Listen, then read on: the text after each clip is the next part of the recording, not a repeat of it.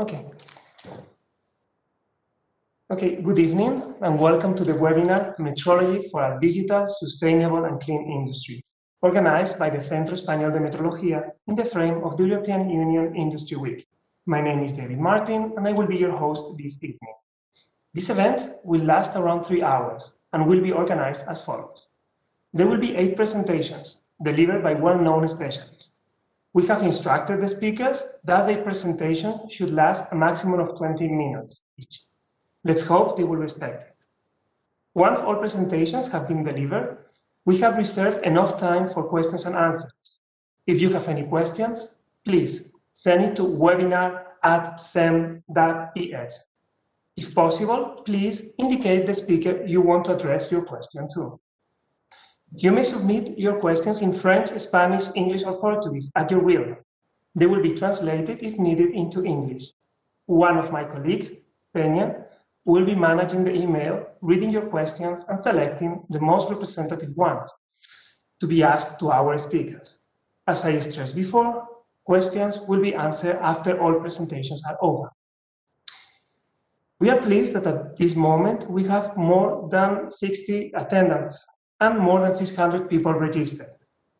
Finally, I would like to give the floor to Mr. Raül Blanco, President of CEM and General Secretary for Industry and Small and Medium-Sized Enterprises at the Spanish Ministry of Industry, Commerce and Tourism.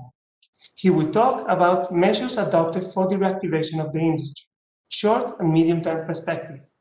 President Blanco, you have the floor. Thank you. So, thank you very much. Uh, it's a real pleasure to be with you, uh, hosting this uh, this uh, this webinar in the framework of the industry of the European Industry Industry Week, and uh, and uh, and talking about metrology and the and the role of the metrology in the recovering in in Europe. So, thank you very much to all my colleagues, to all the the panel. Thank you very much to the to the team in the Spanish Center of Metrology, and uh, and thank you also obviously to all the to all the followers uh, right now at the at the seminar. I will be very brief as uh, as the as the, the, the, presenter, the conductor has said. Uh, I, I will talk around 15 minutes in order to introduce the, the, the main policies that we are developing uh, in Spain right now in the framework of the uh, recovery plan and how these policies are connected with with metrology. So so let's begin. I'm gonna try to uh, share my to share my screen. I hope I will do it okay and now uh, uh, uh, so let's see right now. Okay. I think the the, the okay. So uh, which is the framework? Uh, well the, the, the, the hard situation we are living in the in the pandemic and the hard situation as a consequence of uh, of, uh, of the pandemic in terms of uh, of economical crisis.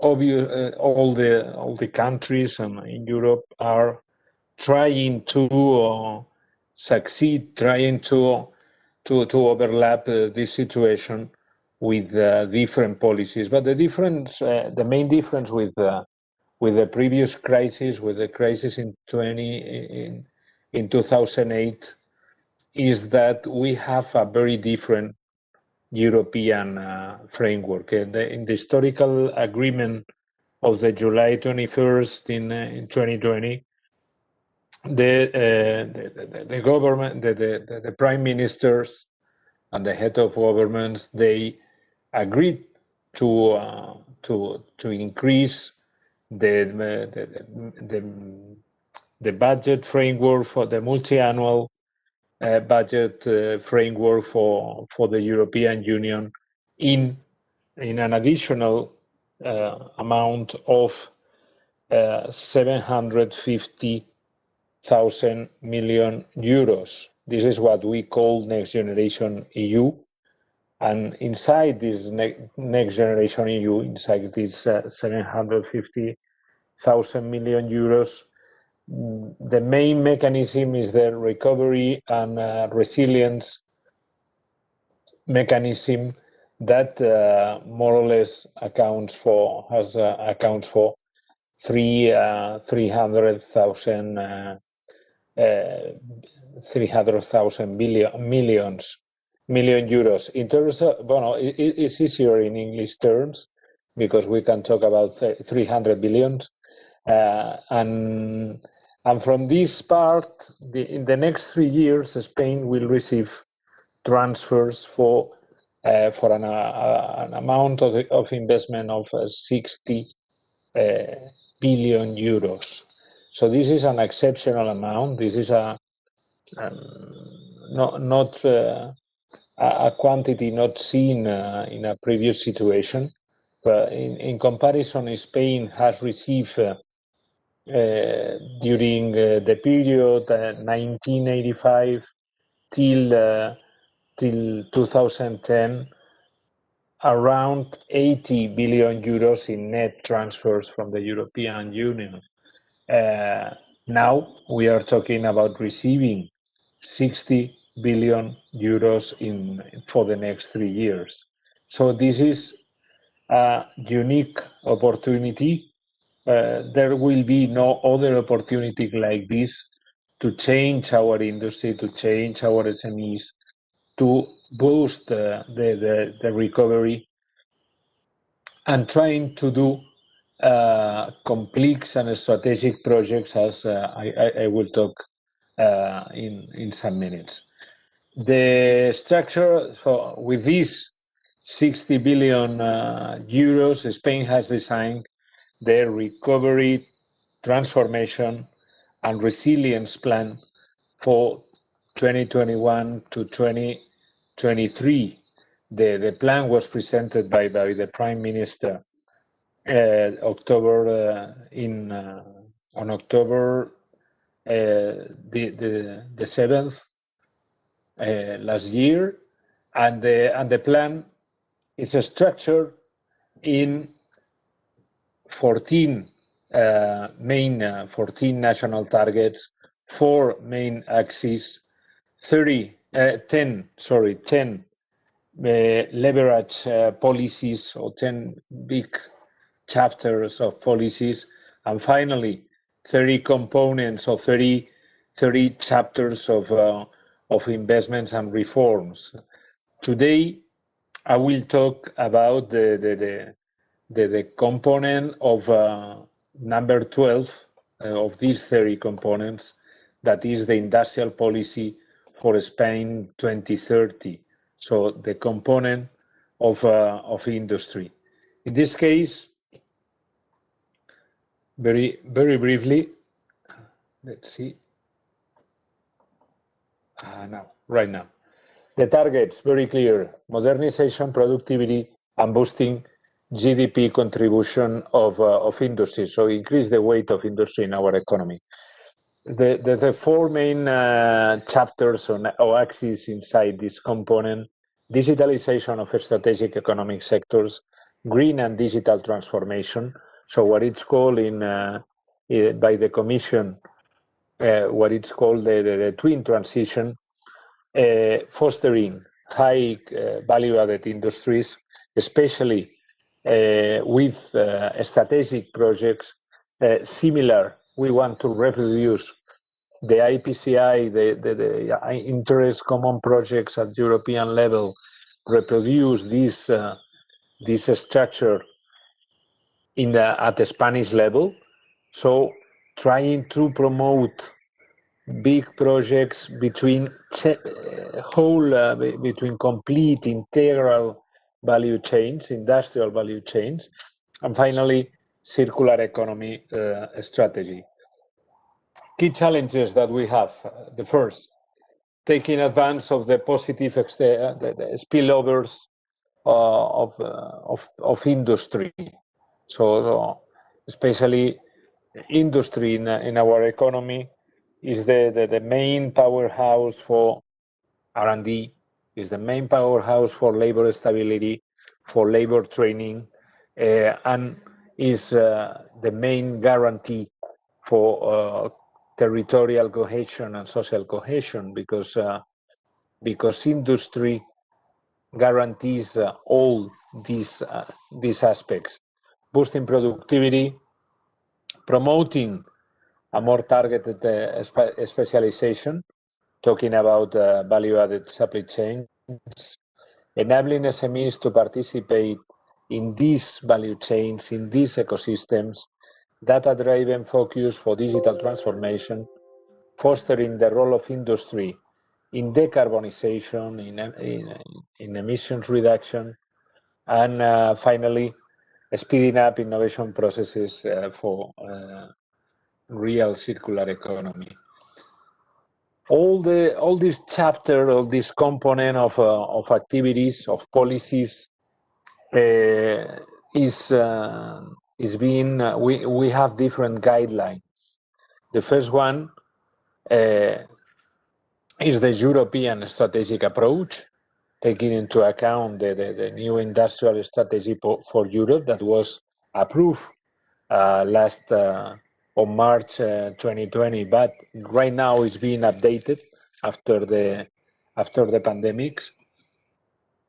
A national strategic approach guidelines for new industrial policy 2030, reindustrialization of the economy, transformation of industrial structure, and adaptation to the twin transformation. So we have the different, uh, we, we, we have this national strategy and also in terms of circular economy, circular Spain to 2030, Spanish circular economy strategy.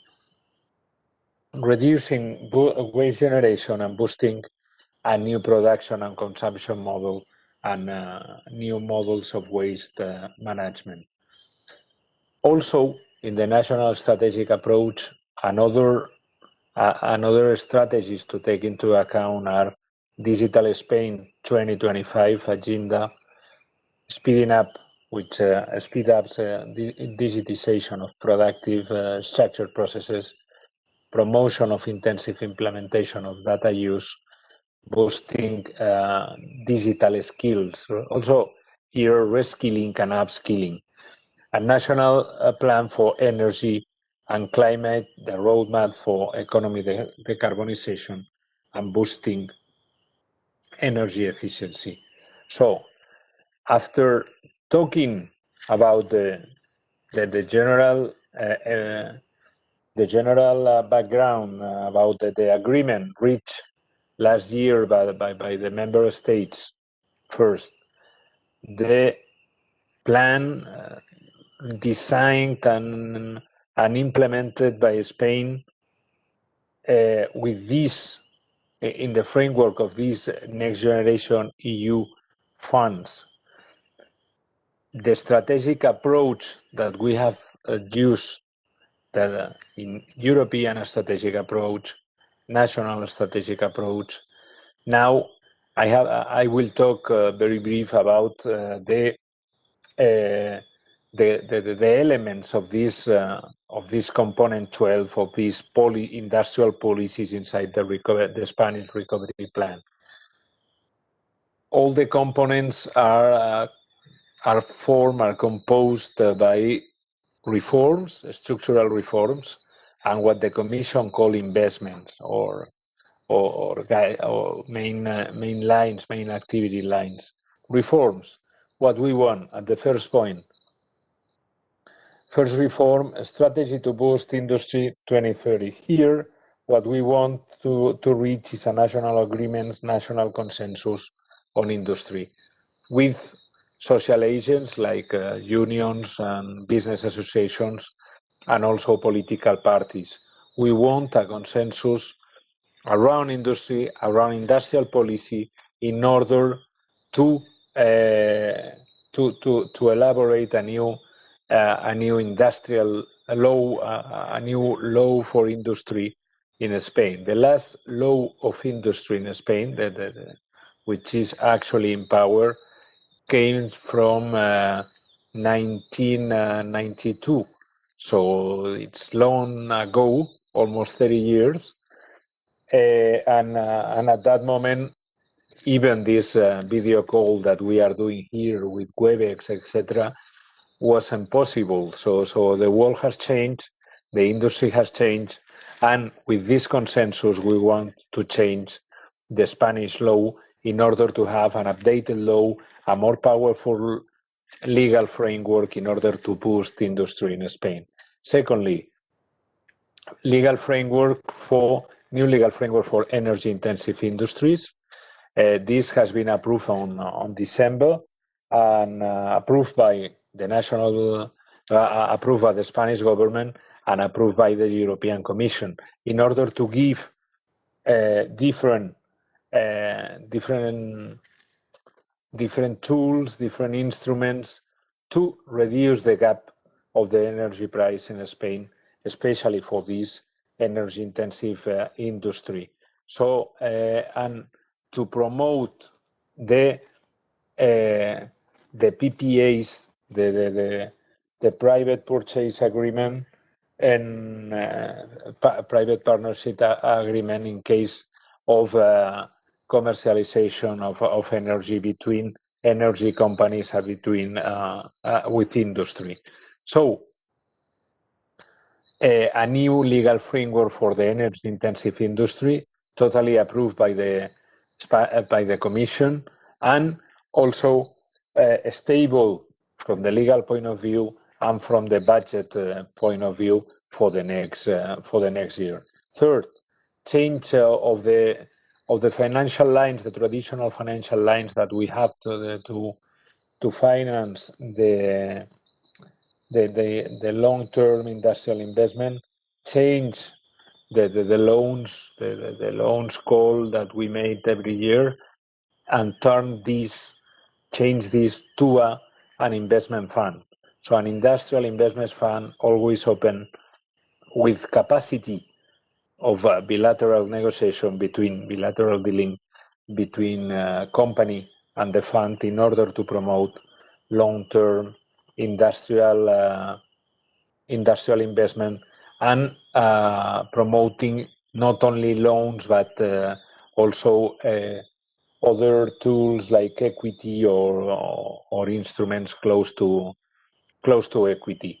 And finally, the, the, the both reforms four and five of circular economy uh, in order to promote new strategies in the city councils, so in the cities and the villages in Spain, but also in, uh, in businesses, in company, in business sector to promote this circular economy development.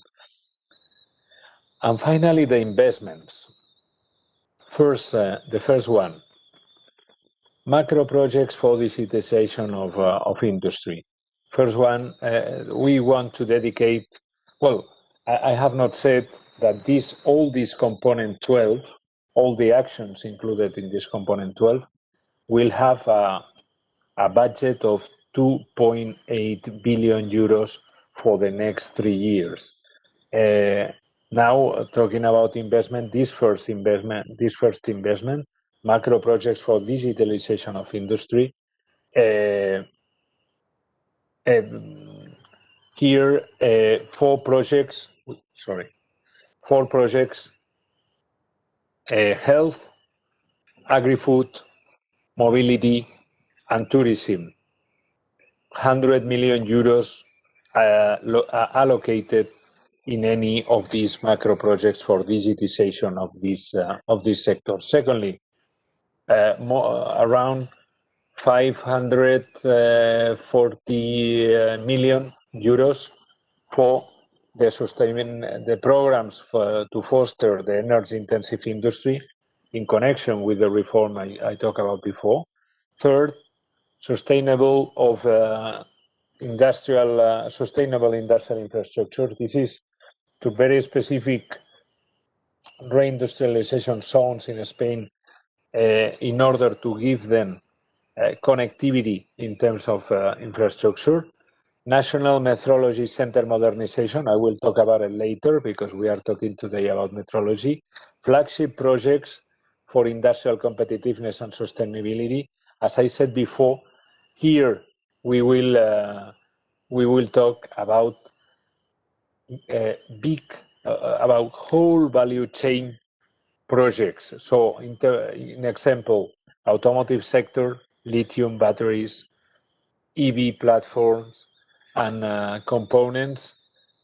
All this transformation, uh, this flagship project uh, formed by big companies, SMEs, technological centers, etc., but taking into account all the value change, we will promote flagship projects similar to the IPCEI, the European uh, projects, in this case, at the national level.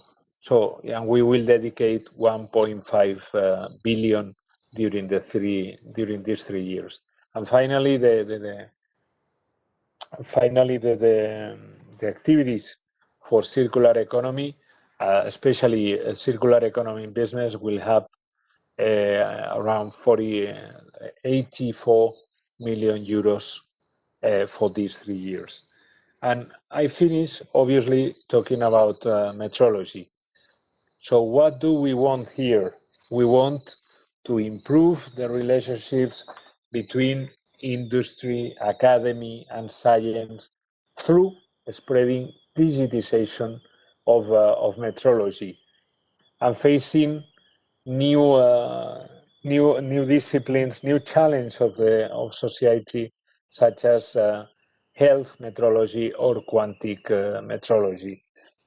Because uh, it's clear and, and also uh, talking here about metrology is easy but metrology is essential.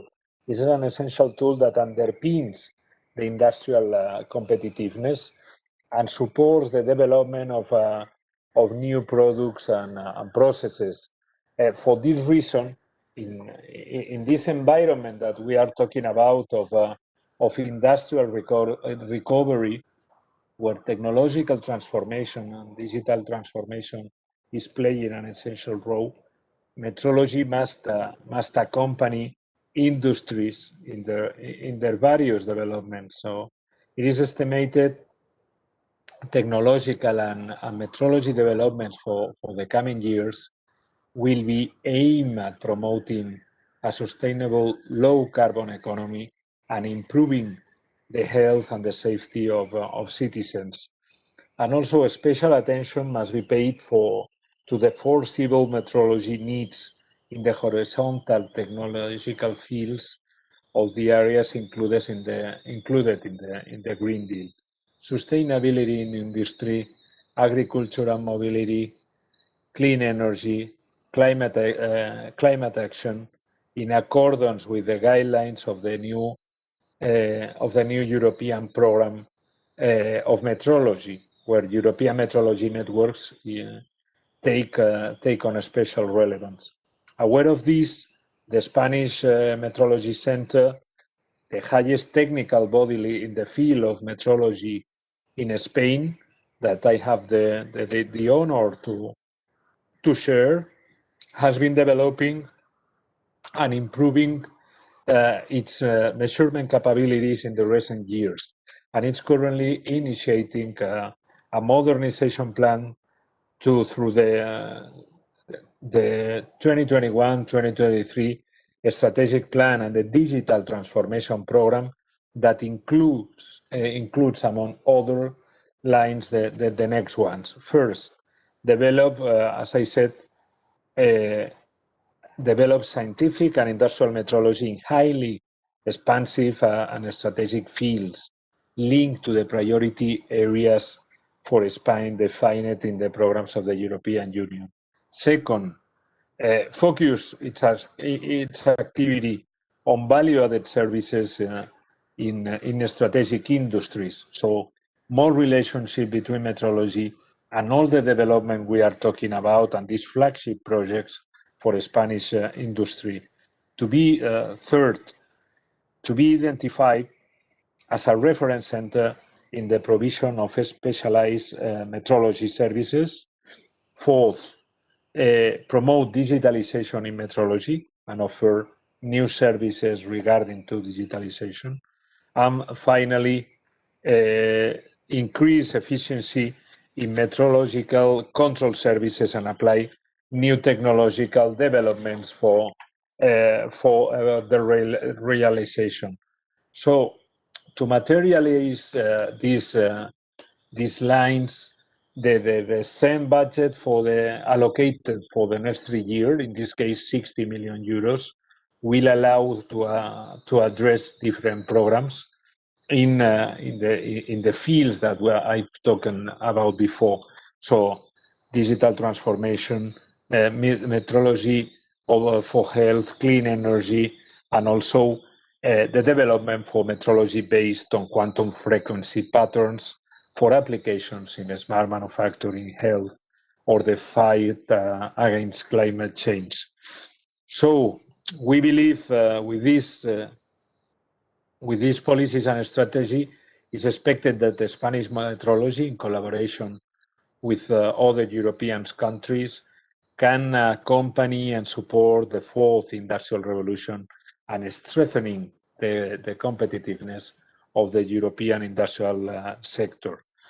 We believe the transformation of a society require, requires an update uh, of, the, of the Spanish Metrology Center with a digitization plan that allows, on one hand, to simplify and standardize its processes in order to increase efficiency and transparency, and secondly, on the other hand, and on the other hand, to offer uh, new digital services demanded by society. And finally, the plan will make investment in all these uh, in all these three fields that uh, that I talk about. and So health, clean energies, and metrology of uh, of quantum in this case. So uh, these are the main question, the, the, the main issues that I want to talk about in a very accelerated way. Always loving the metrology and always uh, uh, taking care of the metrology in in Spain and in Europe. For us, this is a for us this is a priority. For us, is very relevant to to to foster and to recover uh, muscle, to recover strength in the Spanish Metrology Center in order to be a reference in Southern Europe and, uh, and in connection with other European countries, in connection with other areas like Latin America, etc. So thank you very much. Do not hesitate to ask any question now or in the future to me or to the team of the Spanish Metrology Center. And uh, Thank you. Thank you so much.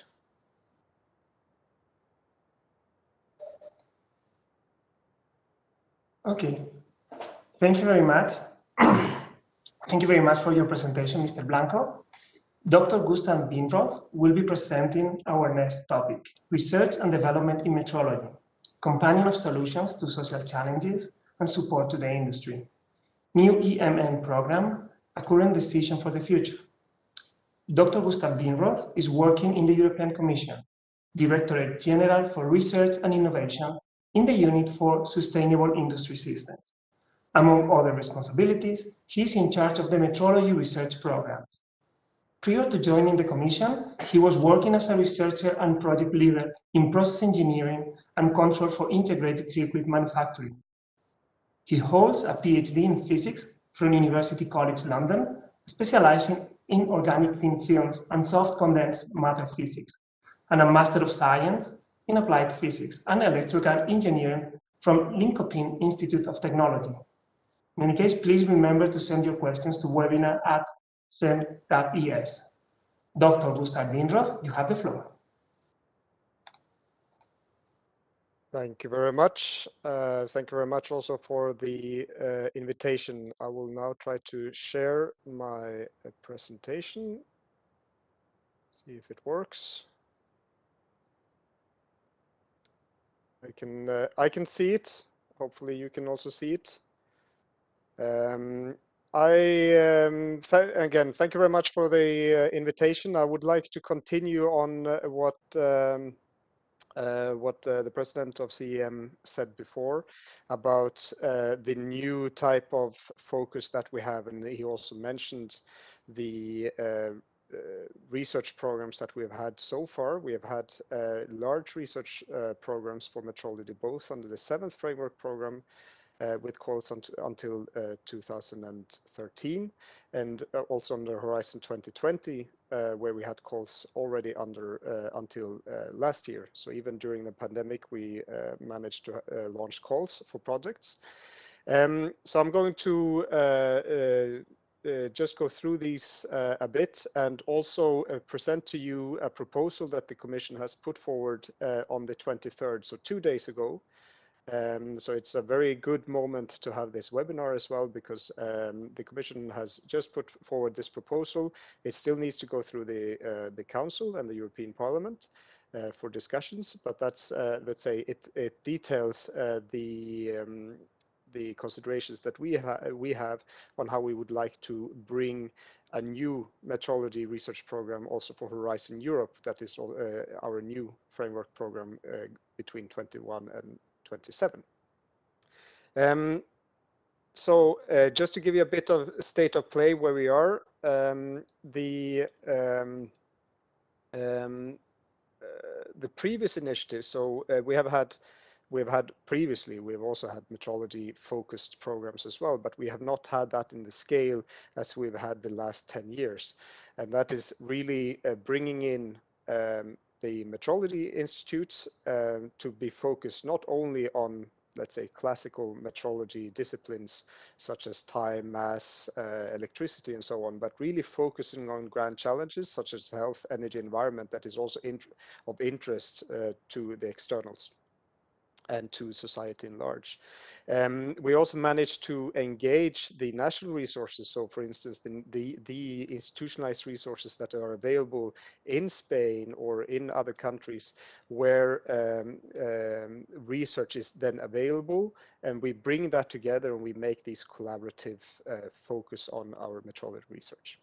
I also want to highlight also for the ones who are listening here that it's really um, uh, open also these programs to external participants. If you're located in the European Union or in a country that is associated to our framework programs, then you will also be eligible to participate in these programs. And you participate in the same way as you participate in other programs. So we have managed to do that and that will also continue.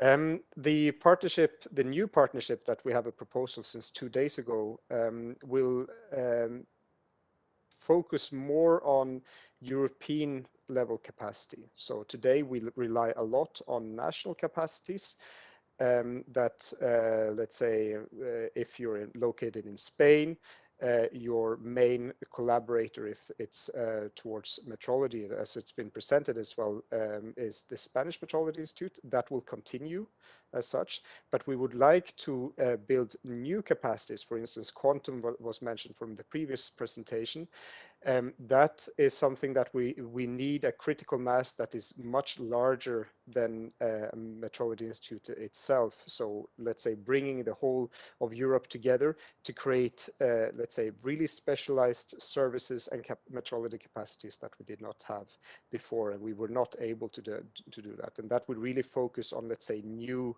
challenges. Um, for instance, uh, we have, um, I will come back to that later, but we have, uh, for instance, for the pandemic, we have wishes to have a certain European level capacity in terms of diagnostics and analysis. And that is also something that uh, will then trickle down to all our programming, including the metrology partnership. Um, on that note, these networks, these type of structures that we would like to build in this new partnership will make this program the last dedicated program for metrology. So in the future, metrology will be there, but it will be for each uh, specialized uh, application. So let it be quantum metrology, for instance, will of course find its place in future programs and future research programs as well, but there will not be a dedicated, uh, dedicated uh, metrology program as such.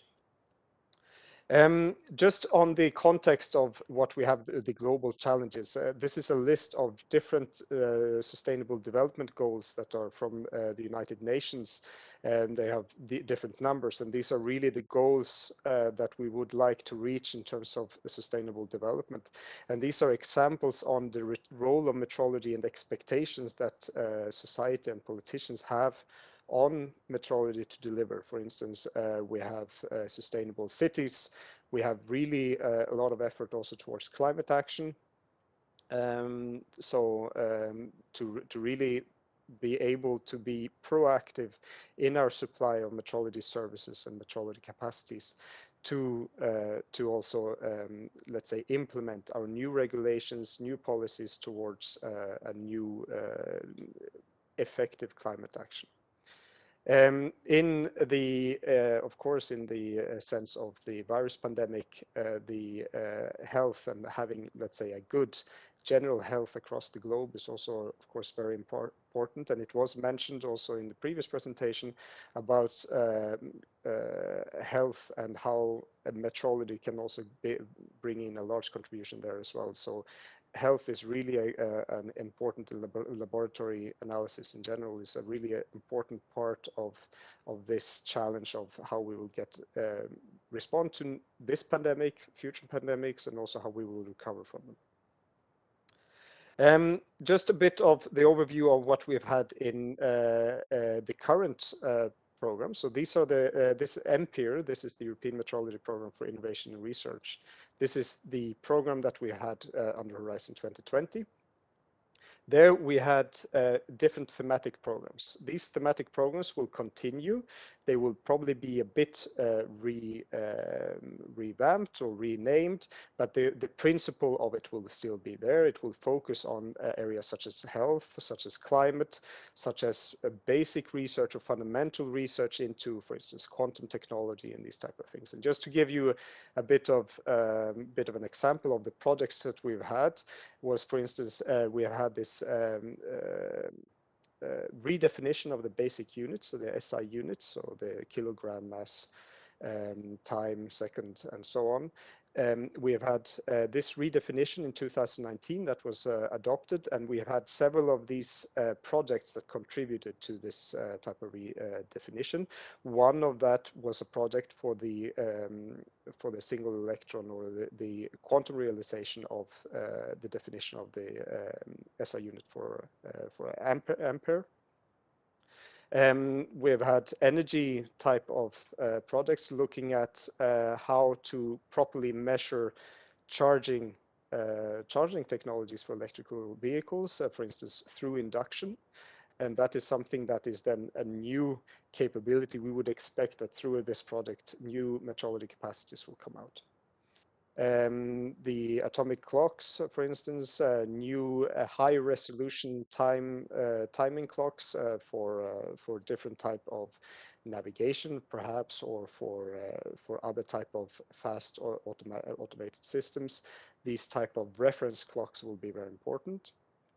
Um, the, for instance, for in manufacturing, really industrially focused uh, projects, there we've had also a large participation of external industrial stakeholders that can take up these uh, these technologies also directly through through the project. They might be instrument uh, builders, they might be, um, let's say, manufacturing uh, participants themselves, but then they get a much closer link to uh, the metrology system, a closer link to the National Metrology Institute as well, in order to be able to uh, to fastly improve their quality, quickly improve their quality, and quickly being able to ensure this traceability in the measurements that they do. So, for instance, one uh, one example of project here is a large volume uh, metrology for uh, for manufacturing applications.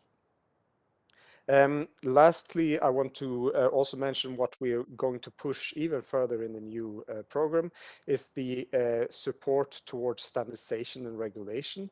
Um, just an uh, example of a project that we've had was a normative project towards standardization of flow metering for different types of gases.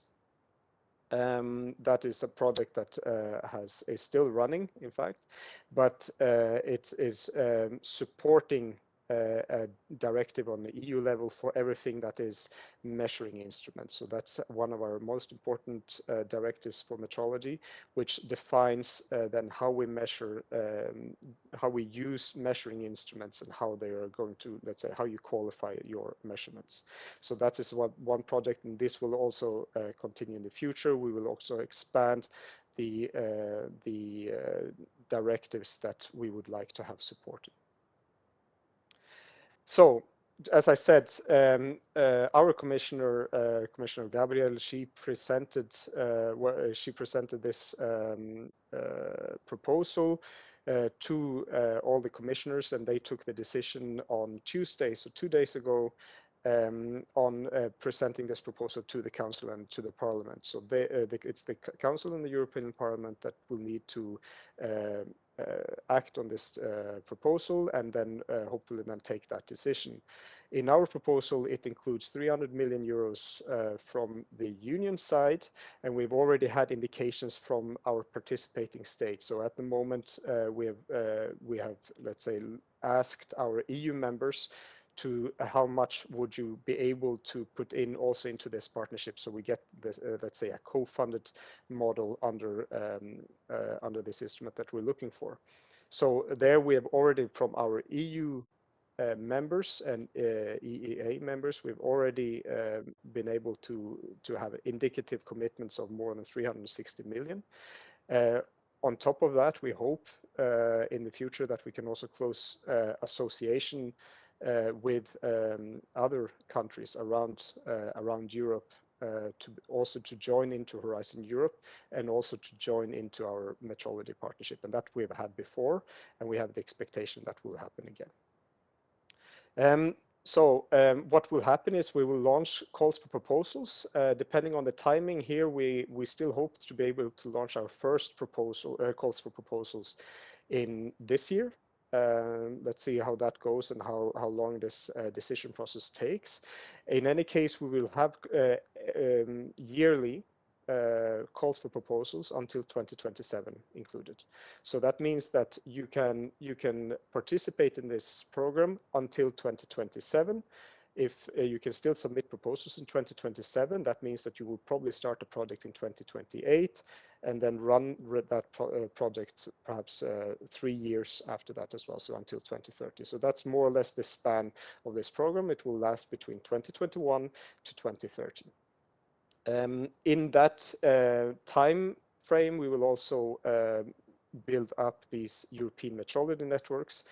Here, a lot of responsibility lies with the metrology institutes to be able to uh, bring, uh, let's say, their expertise in, their strategy on what they think is most important. I will go through a bit um, uh, the uh, European metrology networks that exist today that are, let's say, in the, their pilot phase and will need then to be built up during this program. We also expect that um, the metrology partnership will be even set even closer to other um, European partnerships that we have that are, for instance, uh, for uh, aviation industry, for uh, other type of transport industry. It could be for hydrogen. It could be for uh, let's say batteries. So we have other partnerships for manufacturing or um, let's say energy intensive industries that was also mentioned in the previous presentation. And again, this will be the last uh, dedicated program on metrology under this, under this type of setup. And then we hope that these networks will be able to take it on after 2030. Um, so um, just on the activities, we have uh, one side on building up these European metrology uh, networks. Then we will fund research projects either inside these networks or outside depending on, on the focus that we would like to give. Um, we will also have support actions to increase the impact. Perhaps they could be uh, to increase the uptake in industry to uh, for research results that already exist. It will follow the same type of rules that we'll have for uh, other calls in Horizon Europe. So as a participant, especially if you're um, outside of a metrology institute, you will not have much difference in terms of participating or reporting as in uh, you would have in other type of uh, Horizon Europe programs that we have. So that is really in terms of also the funding, the funding model will be the same and hopefully uh, in a much more simplified if you are also used to previous type of uh, projects that we've had. Um, just in, uh, in terms of the numbers here on the partners, as I said, we have participating states, more or less uh, 22, 23 EU EEA uh, states, plus potentially then uh, future associated states, um, somewhere perhaps five to six, and that would be uh, a bit more uh, than what we had in EMPIR, but still in line with that interest. Um, very quickly on the European metrology networks, uh, that's uh, what is defined on uh, um, European level through the association, the European Association of Metrology Institutes called Euramet. So Euramet, the Euramet members, which are uh, your metrology institutes, they will come up with a strategy on which uh, networks are most feasible to implement on a European level. So we have had pilots on how to bring these together. They are still, um, let's say, in the build-up phase and um, the uh, um, they will require to be able to build up also strategy in terms of research in order to be able also to submit proposals um, into the calls. Uh, but still, they are very interesting also in uh, on a European level. For instance, we have climate and oceans ob observation that will go very very in line with our climate priorities on, on European level. Uh, I've already mentioned energy gases and their links to the our directives. Uh, so we, uh, there is a dedicated network only on these type of energy gases. Quantum technologies have been mentioned uh, before, and I'm pleased to see also that uh, the uh, CEM, so in Spain, are interested in engaging in the quantum tech. Um, and uh, finally, I also want to mention the laboratory medicine network that has, just because of the pandemic, been uh, much more on topic today. And uh, that is also something that will continue. Uh, this uh, of course the, the, the plans were already there before the pandemic but again um, we need to adapt also to the current state um, just uh, what is a network? Then you have the core uh, metrology disciplines. You have a community around that network as well that also can bring in and uh, bring in input and take take their output and use that also for their own uh, for their own developments and innovation. Uh, the network also needs to provide services, uh, uh, do research um, to different types of amounts, depending on, on the research intensive uh, um, priorities that they have and also bring in support in uh, both into our policy drive. So let's say we want to understand how we uh, regulate um, quantum technologies in the future then uh, we also rely on the quantum technologies network to also bring input into that and, and the, especially the aspects of, of measurements. So um, with that, you have um, more information. There is uh, the website for the Metrology Association on European level. Uh, so Euramet has a website. There you can find the current projects that are running or have been closed. There's a lot of information. Each project has also uh, their own website where you can get even more information. There is also um, a lot of future events. Um, with the pandemic, of course, um, they will most likely be virtual but that's also a good opportunity to also participate in these type of events that are open to the public and to be able to uh, to bring in also your views, also to follow up on, let's say, the developments of these European metrology networks as well. If you're interested in our commission proposal and to get more um, uh, information on or details on how that is uh, being set up. Uh, the proposal is published uh, with supporting documents around that as well and that is also a very good um, place to get uh, access if you if you're more interested in in how the um, the uh, the partnership will be set up. So with that, thank you very much, and um, I'm open for any questions that you might have. Thank you.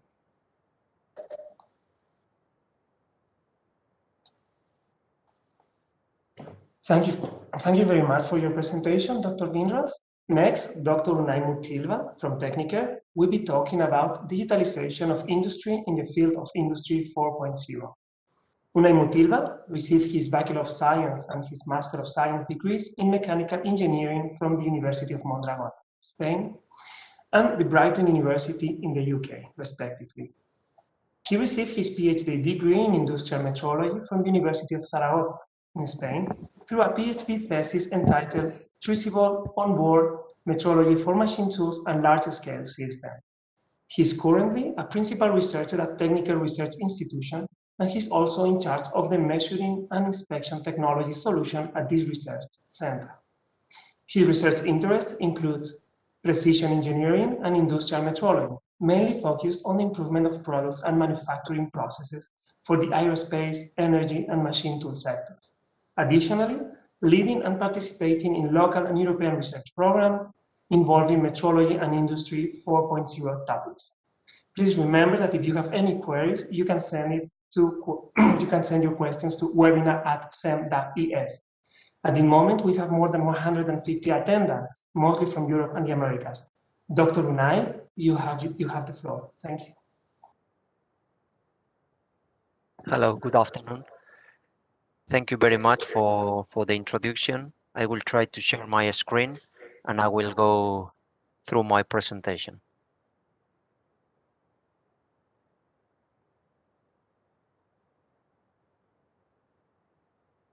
I guess that you can see my screen, right?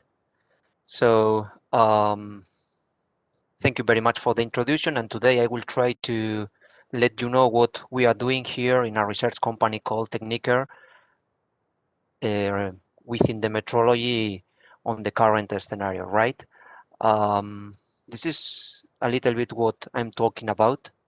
Uh, Raül and Gustaf already did a perfect introduction to the to the topic. So I guess that I will go straight forward to the to the next three points. The role of metrology, metrology for you will see manufacturing system, manufacturing products, and manufacturing processes, and I will conclude my presentation. So we have already seen, uh, and Gustaf have already has already talked about the sustainable development goals that uh, yeah, Raül has already talked about the importance of industry, not just in Europe, but also in Spain. And this is where I will try to, to let you know about which is the role of metrology within the current industrial scenario. And yeah, the role of metrology. I will focus my presentation here, yeah.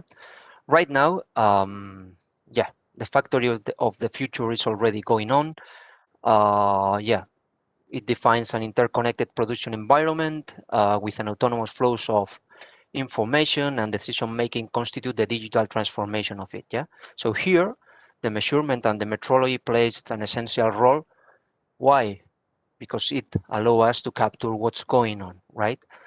Um, so it means that nowadays we are conceiving around a data-driven manufacturing where there is a virtual war and this is a real war. Yeah. So here in the right corner, we can see that when we focus on a manufacturing process, we can talk about the part, I mean, the manufacturing product we are producing, the process itself, and the manufacturing system. Yeah.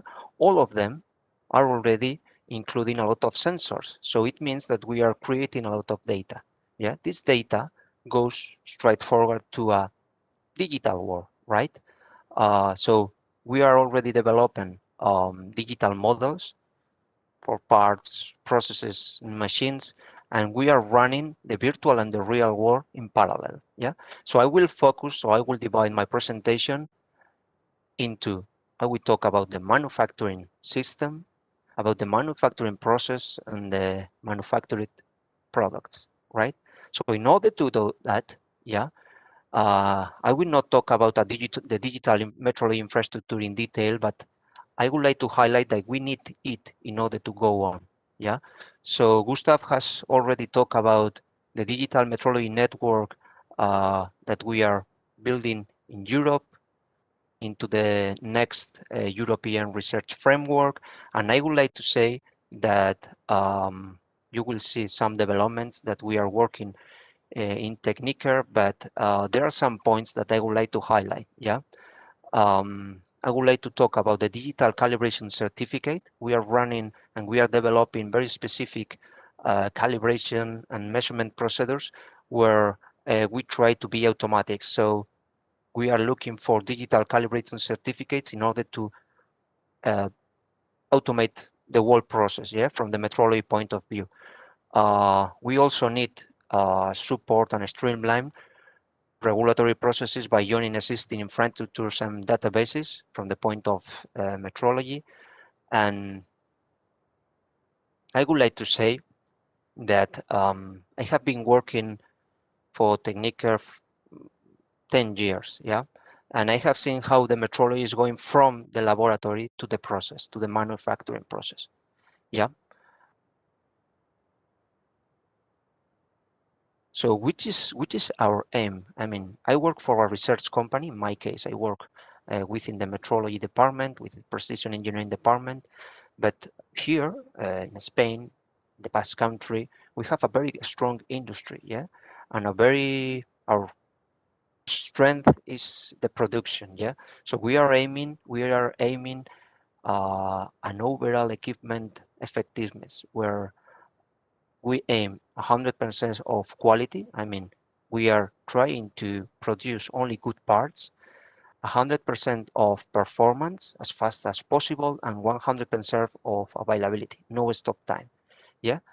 So in this scenario, we can define the, the metrology for manufacturing roadmap, which is called the manufacturing metrology.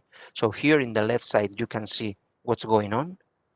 Raül already explained explained what's going on, yeah, the mega trends and the boundary conditions and what we need from metrology in order to assess the digitalization of, of the industry, yeah? So which are the trends of production nowadays? We have resource efficiency, yeah, new processes and technology, flexibility and transparency. And in order to do that, we need metrology to, to be fast, to be accurate, reliable, flexible, and holistic. Yeah, and you will see some examples about what's going on and what we are trying to do from Tekniker in order to achieve that. Right.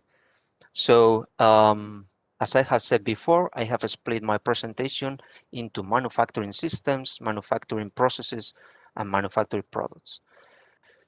When we talk about manufacturing systems, we can imagine something like we can, what we can see here in the screen. Um, our aim is to maintain the accuracy of the manufacturing system very high during its life cycle. Yeah, but okay, when we use these manufacturing systems, uh, accuracy goes down, and sometimes we need to run a calibration. I mean, we need to map the error and try to compensate it in order to, yeah, improve the accuracy. So what we are doing at this point, um, you can see here, for example, we have developed a machine tool assembly process with a laser tracker TinNow.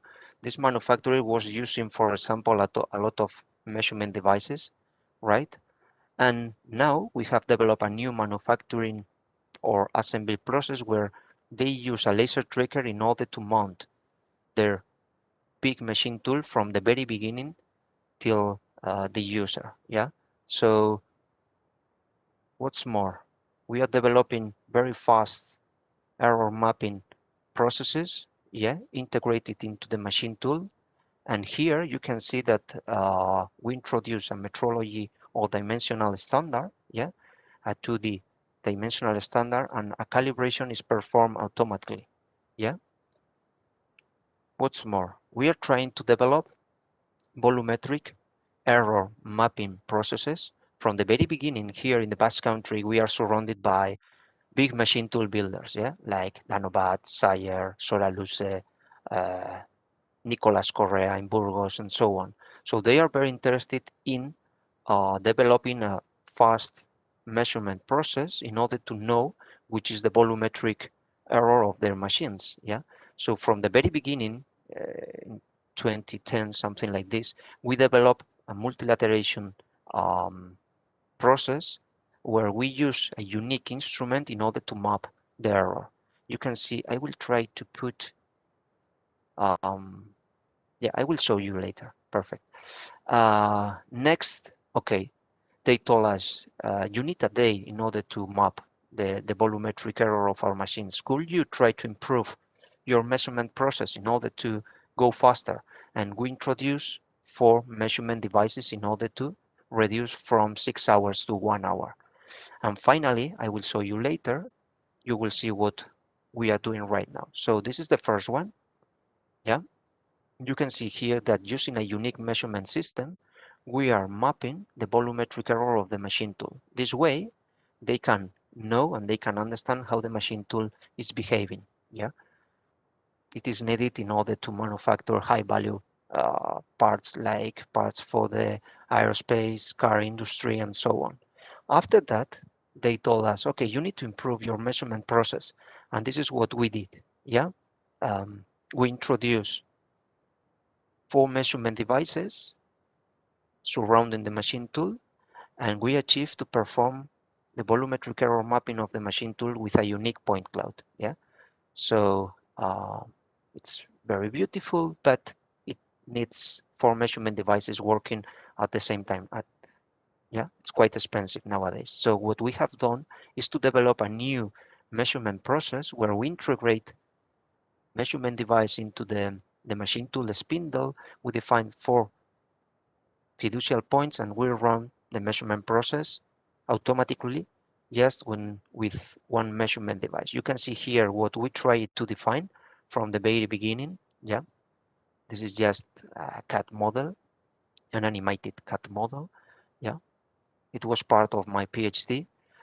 And what we have done is to integrate an available laser tracker in Tekniker. You can see uh, how it looked like. Yeah, a laser tracker into the manufacturing spindle for fiducial points. And this is what we have achieved to do.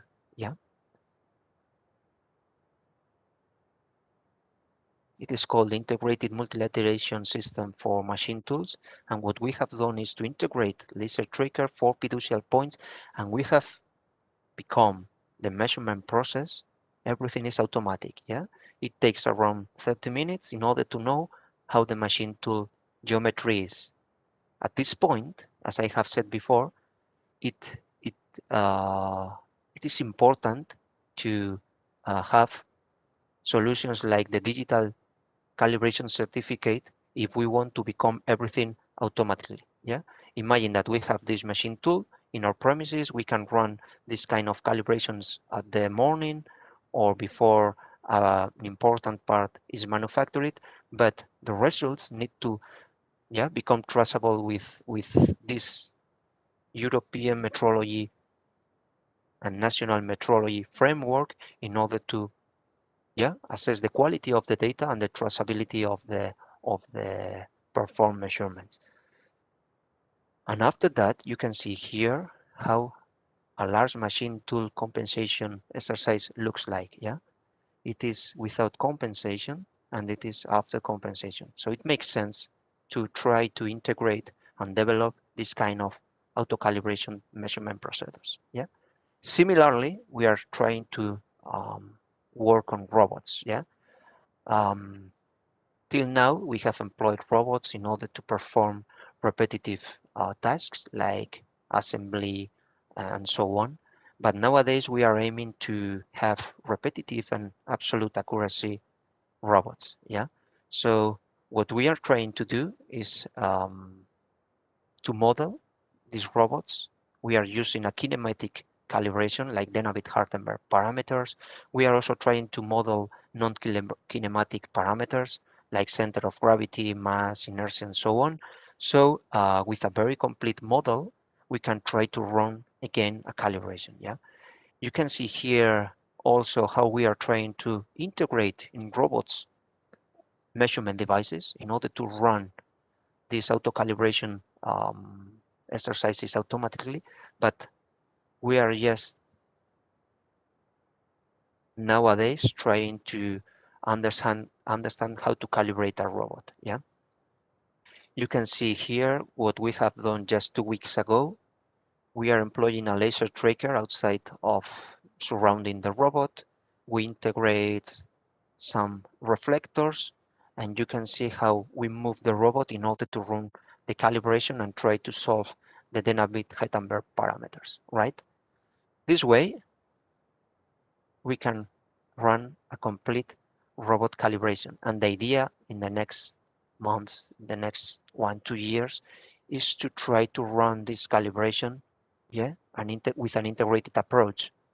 So as we have seen uh, for the machine tools, in this case also we can uh, try to become the whole process automatic, yeah? We integrate a measurement device, we define some fiducial points and we run the, the calibration process. And once that we achieve the data, we need a digital framework in order to send our information and receive back that uh, we are okay. Yeah, um, and this way we can uh, push this digitalization of of the industry based on on metrology. Yeah, so um, you can see here that we employ a Denavit-Hartenberg model where we have different parameters, and we are also considering um, uh, the lack of stiffness. Yeah, because this kind of, of mechatronics suffer from that. So you can see what we are achieving is nowadays when we attend to a to a yeah manufacturing shop floor where there are robots normally these robots are they they have a very high repeatability around 20 30 microns but the absolute accuracy is normally worse than one millimeter yeah? So after the calibration we can uh, achieve an absolute accuracy about 0.1 millimeter. So this is what we are trying to do yeah? We are uh, developing new measurement um, calibration uh, procedures, but we are also trying to improve the uncertainty related to these manufacturing systems. Yeah, you can see that for the machine tool, we are around 20 microns absolute accuracy for a very big machine tool in the volume, and here we are trying to push the the, the robot uh, accuracy around 0.1 millimeter. Now we are researching about how to to go further and and and improve this 0.1 millimeters in general, right? Uh, manufacturing processes. Uh, we are talking about zero defect manufacturing, yeah? Here in our area, I have already talked that we have uh, large machine tool builders. Um, we have um, production companies that for aerospace, aeolic, car industry, where they try to manufacture very big parts. Yeah, so they need to manufacture these parts right with the first product. Yeah, so um, we are trying to use metrology in order to do that. Yeah, we are using metrology within or towards the zero defect manufacturing scenario. But the real life for us is like this. I mean, um, this is me, this is Unai. Sometimes we go to a, a aeolic parts manufacturing company, machine tool builders, a very specific or singular project like telescopes. And you need to go there and try to use metrology in order to manufacture, to help them to manufacture better their products, right?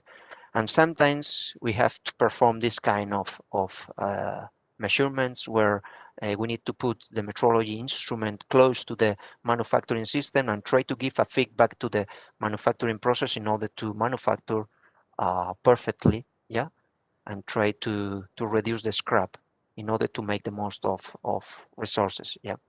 So I would say that uh, this manufacturing companies need a fast and accurate metrological feedback into their manufacturing processes, yeah you can see more samples with uh, measurement instruments like um, laser tracker, um, scanning systems, and so on. Yeah. So this is what is going on nowadays, but we are trying to change that. Yeah. We are trying to introduce all the metrology, all the metrology framework in order to improve this manufacturing process and become the manufacturing process digital and automated. Yeah. So we are introducing a lot of sensors, not just metrology devices like this, also sensors within products, manufacturing systems, and processes. And we have a lot of information that we need to validate and to certificate against these metrology frameworks. And yeah, we need to develop a virtual metrology concept for these manufacturing systems and processes. Yeah, so we can give a feedback to the manufacturing process and try to define a zero defect manufacturing process. So nowadays we are trying to research within or towards this kind of, of solutions. Eh? We are trying to perform a traceable coordinate measurement within machine tools. You can see here that we are using uh, touch probes within uh, manufacturing systems, not just uh, the large scale, but also the medium scale.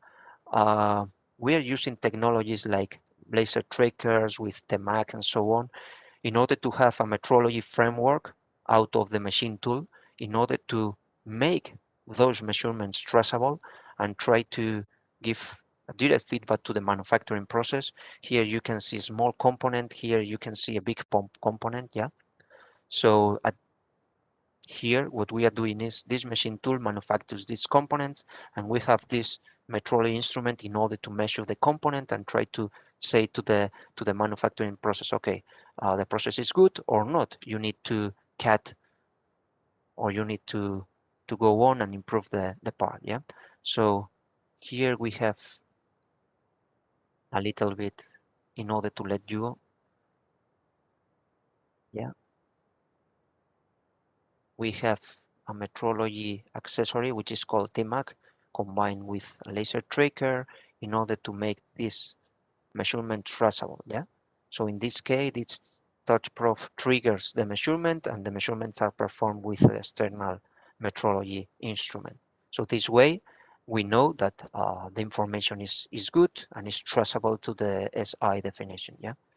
In the future, uh, we would like to make this process automatic, have a metrology framework in order to send the info and try to make everything traceable. Yeah. And not just on the medium and large scale, we are also trying to measure, yeah, on the micro nano scale, we are trying to measure surfaces, not just the dimension, but also the form in process within the machine tools, right? Um, we are also trying to develop new um, calibration uh, strategies in order to uh, calibrate the systems that we employ in order to to assess the quality of the products. We have developed a brand new uh, CMM calibration process with laser technology, so we can perform everything automatically again. Um, and finally, I will finish talking a little bit about product, yeah, how the metrology can improve the product life cycle life cycle management. Um, yeah, we would like to ensure the quality during the product life cycle. Uh, we are researching about concept like MBD, the model-based definition, where we have, or we are trying to achieve a CAD, I mean a nominal uh, definition of the product where we don't just have the dimension, but all the GD and T information. So we can employ this information within the quality information framework scenario in order to um, plan our measurements. I mean, uh, if we have a nominal CAD with all this information and we have the virtual models of the, our measurement instruments, we can define um, virtually how to run and how to plan our measurement processes. We can um, become automatic the process uh, of the measurement. I mean, once that we achieve all the data, we can compare with the nominal data and all the post-processing of the measurement processes become automatic. So um, this is something we are researching on. Uh, it's not easy to introduce this technology from a research company to the industry because when we talk with an aerospace or car supplier, they are always trying to to to do what the main manufacturer, I mean Airbus, Boeing, uh, Seat, Audi says. So yeah, we are trying to help them. We see that is something that is coming MBD, QUIF, and so on. And we are trying to get ready to, to transfer all this information to, to the industry. Yeah. And just to finish, um, I guess that we are on time. Uh, I would like to remark that here from Tekniker as a research company, we are trying to, as you see, develop new technology related to metrology, precision engineering, new information and transfer it to the to the industry just to improve our national, our local uh, industry and, and try to go ahead. Yeah. And as a good metrologist, I would like to say that metrology is and everything, but without metrology, nothing is anything. Thank you very much for attending this presentation and Okay, thank you very much, Dr. Mutilba.